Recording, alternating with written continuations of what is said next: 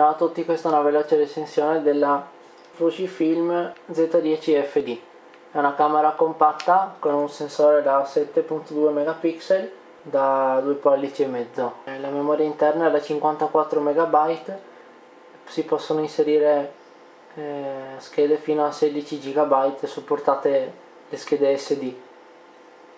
Eh, I video li fa in AVI, per il resto scatta solo in JPEG, impossibile che scatti in uh, RAW. Poi immagini da 7 megapixel, da 4 megapixel, 2 e 0.3.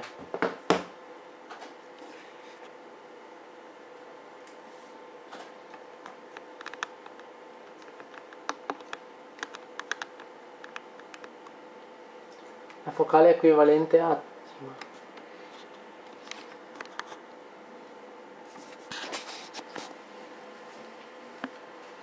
la focale equivalente a 35 mm sarebbe 38-114 e lo zoom non è neanche male è abbastanza fluido e veloce.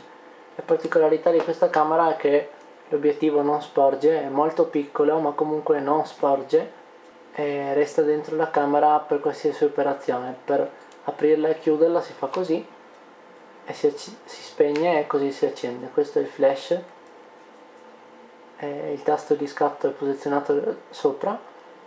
Qui c'è il gancetto per non perderla l'attacco del trepiede qua c'è la, la batteria. E anche l'SD che adesso manca.